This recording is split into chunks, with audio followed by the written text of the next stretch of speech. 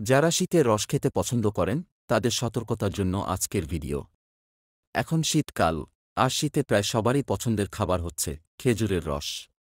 যা অনেকেই কাঁচা খেয়ে থাকেন। কিন্তু এই খেজুরের রস গাছ থেকে সংগ্রহের সময় বাদুর জিব্বা দিয়ে চাটার ফলে তার লালা অনায়াসে খেজুরের রসের সাথে মিশে যেতে পারে। আর বাদুর তার লালার মাধ্যমে ক্ষতিকর নিপা বা বাদুরবাহিত ভাইরাসসহ বিভিন্ন ধরনের ভাইরাস ছড়ায়। তাই কেউ পিওর না জেনে কাঁচা রস খাবেন না প্রয়োজনে আগুনে ফুটিয়ে খেতে পারেন।